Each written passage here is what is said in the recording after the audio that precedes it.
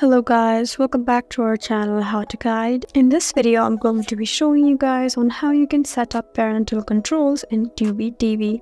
So guys, if you're a parent and you're worried about your child coming across age-appropriate contents, then this video is for you. Surprise! Just go ahead and open your browser and you just need to be in this website over here and once you type this website and enter, you would be in this page. So you're in the home screen of Tubi. So just look at the top right corner where it says your name and once you tap there now you'll see options like account settings, help center, activate your device, and sign out, just go ahead and tap on account settings. And now you would see your account details. So guys, over here too, there are options like profile, parental controls, notification, continue watching main list and subtitles and appearance. So we just need to be in parental controls since that is where we would be headed. And once you're here, just look at the content restrictions and just set up the content restrictions as you want. So if you have a teen, then you can use a teen, or if it's a little kid, then you can choose little kids. And now just enter your password and tap on save. And this way you would be able to successfully set up parental controls. As there you go.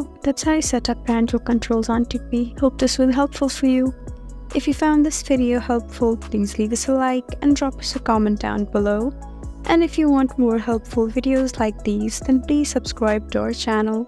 We'll see you again next time. Thank you for watching.